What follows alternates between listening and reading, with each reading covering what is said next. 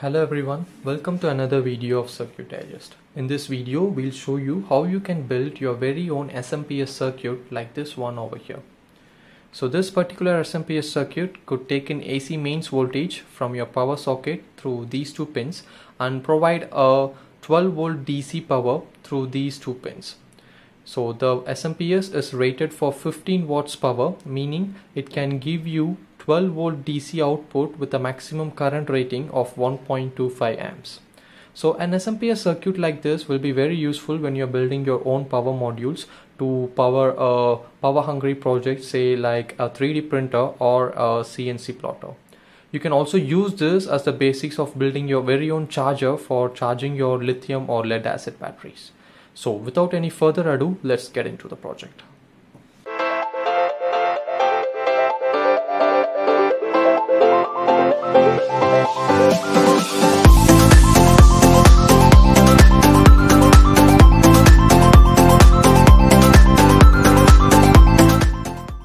Now, as few people might have already recognized from this flyback transformer, the complete circuit is based on a flyback topology with the TNY268PN as the heart of its circuit.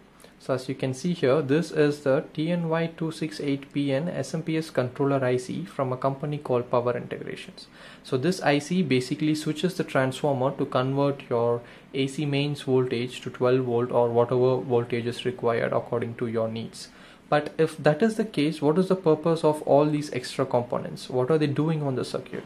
To make things clear, let's take a look at the circuit diagram. So the complete circuit diagram for you is shown over here. To explain things, let's start from the input section. So this board not only converts, blindly converts your AC voltage to 12 volt DC, but it also has some protection features which I will be explaining as we go through the circuit. So let's start from the input side. So as you can see here, on the input side, we have the AC input voltage, which is the line and neutral of your power socket, which then goes through a fuse and a MOV. MOV stands for metal oxide varistor. So these two circuits together form the input surge and fault protection. So basically what happens is whenever there is an overvoltage, this MOV forms a short and thus increasing the current flowing through this loop. In that case, this fuse, which is a slow blow fuse, will blow off and protect your circuit from getting affected by this overvoltage. And then moving on, we have the AC to DC conversion part over here, which is done using the BD, sorry, DB107 diode bridge as you can see here. So let's also look into the board so that we get to know what's actually happening. So as you can see here these are the AC input pins which then moves on to a slow blow fuse which is this black color thing. And then we have an MOV in parallel with that a metal oxide varistor in parallel with that which these three components form the input surge and fault protection. From there we are moving on to the AC to DC conversion which is done by this particular IC DB107 which is this one. If you take a close look at the IC you can notice that it has sine wave symbol here indicating that it takes an AC input voltage and a positive and negative here to indicate that it's giving a DC voltage so then this DC voltage is taken to a filter. So this filter is called a pi filter. The reason for calling it as a pi filter is that as you can see we have a capacitor an inductor and another capacitor over here which forms something like this. So if you take if you take a look at the structure it looks like the symbol pi so that's the reason this is called a pi filter but it's basically two capacitors and an inductor. So if you take a look at our circuit we have the two capacitors over here and the inductor which is an AC line choke. So this is the inductor. As you can see here it has four terminals. It has four terminals. So we have those two capacitors and the inductor over here. Then moving on from the capacitor section we have the switching circuit. So as I told you earlier the TNY268PN is the main switching IC and the brain behind this controller. So this IC is located over here as I showed you earlier. This is our brain of the circuit and it also has a capacitor C3 which you can see here. And then moving on. Here we have the diodes D1 and D2 which together forms a clamping circuit. So as we know we'll be switching the primary side of the transformer and whenever the primary side is switched off the transformer being an inductor would pump in some reverse voltage back into the circuit. This reverse voltage should not affect our controller IC and hence we use a clipping circuit to sorry a clamping circuit to clamp the excess voltage that might enter into our TNY268 IC. Now uh, the diodes D1 and D2 can be found over here as you can see this is D2 and D1 is sitting inside. The part number of the diodes can be seen over here and then proceeding with our circuit diagram we have the resistors R1 and R2 over here R1 and R2 which is 1 mega ohm each which is used to give under voltage lockout protection to our IC and then we have a capacitor C4 connected to the transformer. Mm, let's find that out. Yeah we have C4 over here as you can see. We have a capacitor that's connected between the transformer and the ground.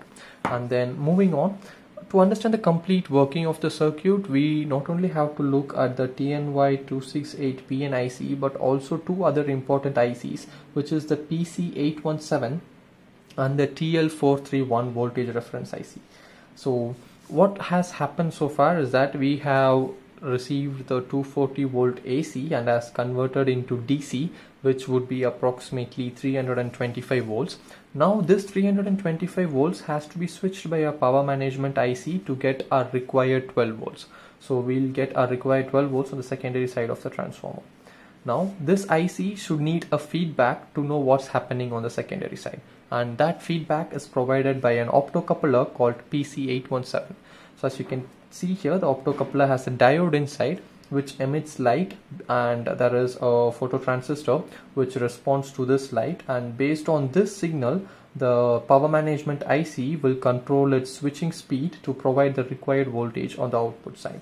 So the feedback is taken from the output side as you can see here and we have another label called output which is shown over here. So this output uses a reference uh, reference voltage IC called TL431 so if you want more details on how to select the values of this resistor and more details on what exactly is happening here you might want to check at the link check the link given at the description of this video so let's proceed with the circuit diagram and then we have the output side over here which has an LC filter and a Schottky diode over here whose part number is SR360 and we also have an LC filter to filter out any ripples on the output side. So that's it guys. This is pretty much it. So the circuit diagram is uh, pretty much obvious. Uh, if you are still confused and if you need more details I'm sure you will find all the required information along with the circuit diagram and the part numbers the BOM everything can be found at the link given in the description of this video so once we are ready with the circuit diagram, it's time to proceed with fabricating our PCB. Now, unlike other boards, this PCB requires some special attention because it is an SMPS circuit. So as you can see here, this is the top layer and this is the bottom layer. And we have used a single side layer this is not a double side board. This is just a single side board. As you can see the tracks are available only at the bottom of the PCB this is because since it's an SMPS circuit most most people will prefer only the tracks on the bottom side to avoid any interference. And another thing that you should notice is that the isolation provided between the transformers and the main power section so as I told you earlier here is where you give your 230 volt AC input and it gets converted to DC over here. And there is a very good possibility that this conversion might affect the switching circuit over here. So we have provided slots to isolate this power section from the switching section. So as you can see this is our switching section and there is a slot over here there is a slot over here to isolate the circuitry from the switching side so with these design considerations in mind you can proceed with altering the circuit diagram as required for your application and you can proceed with designing your own PCBs The Gerber file for this exact same PCB can be found on our website for your reference. People who are not into PCB designing can download the Gerber file and directly hand it over to your PCB fabricator to get your boards done. When it comes to PCB fabrication, we always prefer PCBGoGo.com who are not only the manufacturers of these boards but are also the sponsors for this video. PCBGoGo is a professional PCB prototype, assembly and layout service providers who are highly specialized in quick turn prototype for low and medium volumes. So let's take a look at PCB PCBGoGo first. So you can just open your browser and get into their website. Just wait a second. So this is their website which is pcbgogo.com and once you get into it you will be taken to their home page which looks something like this. So once you get into it make sure that you have signed in. I have already signed in since I have been using it for a long time. But if you're a new user you can sign up and every new user gets 20% discount on their first order so once you get into their website, you can enter a few basic details of your PCB like your uh, length of the PCB and the width of that PCB assuming it is 100 mm cross 100 mm so let's enter 100 and 100 over here. And the quantity the minimum would be 5 so let's select 5 and I need a two layer PCB with 1.6 mm thickness. So once you enter these basic details you can click on quote now which will take you to another page which will have more details about your PCB so by default you can leave all these values to the default thing on the right side there is something interesting so as I change the parameters on the left side, as I change these parameters, you'll notice that the build time and the price of the PCB gets updated. For example, for this particular settings, they will require three to four days to fabricate a PCB, which is the build time, and the shipping charge would be around $21 if I choose DHL. If I choose China Post, it would further go down to $9. So let's choose China Post and scroll further down where you will see the complete cost required to fabricate your PCB which is $14. Let's click on add to basket and proceed to the next page where you will be asked to enter the Gerber file that we downloaded. So once it's get uploaded, they will take few minutes to verify your Gerber file. And once that is done, you can proceed with submit order now button. And it will take some time for them to fabricate your PCB. and here we go. Here is the box that I told you earlier. As you can see it says China Post. So let me open it with my scoring grid here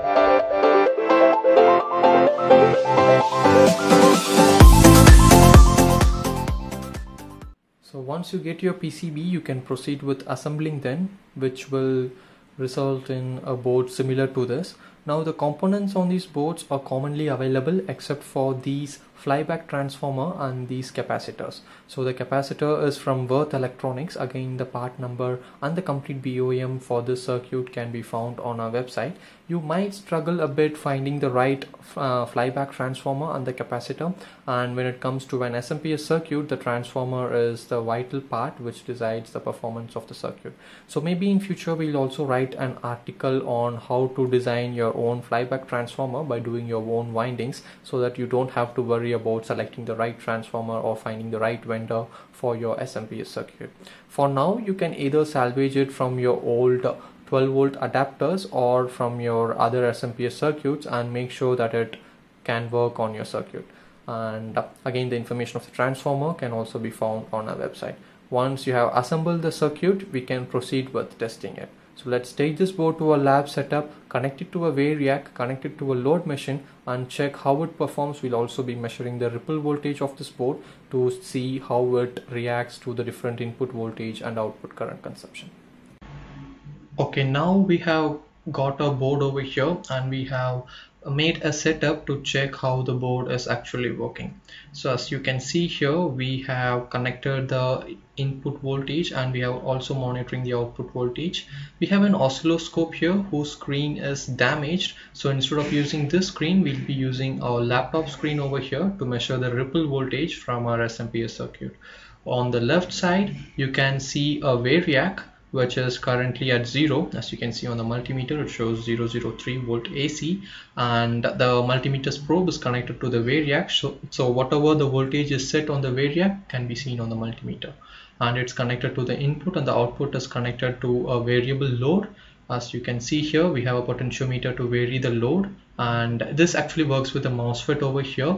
The MOSFET controls the current that flows through the load so we can set the output current and monitor how our SMPS circuit is working. So this multimeter shows the output voltage which is connected to the output side of the SMPS circuit. And there is also a capacitor as you can see here which is used to measure the ripple voltage and the oscilloscope's probe is also connected over here as you can see so now to begin our setup let's increase the voltage. So as I told you earlier so the load is zero and uh, to increase the voltage we can even start with 90 volts which is the minimum voltage required for our SMPS as you can see here even at 82 volts the output has started glowing. So let's set it at 90 and if you look at the output side we are getting 12 volt DC volt on the output. And this load machine over here displays the voltage and the current which is 70 milliamps currently. So the 70 milliamps is consumed because of the circuitry and the seven segment display.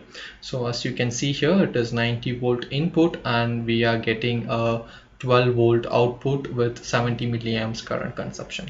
Now to measure the ripple voltage we can look at the oscilloscope waveform. Let me adjust the time division and once we adjust the time division if you look at our scale we have we have a scale of 100 microseconds and 10 millivolts. So with that scale if you look at the waveform you can see that the ripple voltage is somewhere around 10 millivolts. So it's actually lesser than that but you can consider it since 10 millivolts a single division you can see that the maximum peak to peak ripple voltage is only 10 millivolts.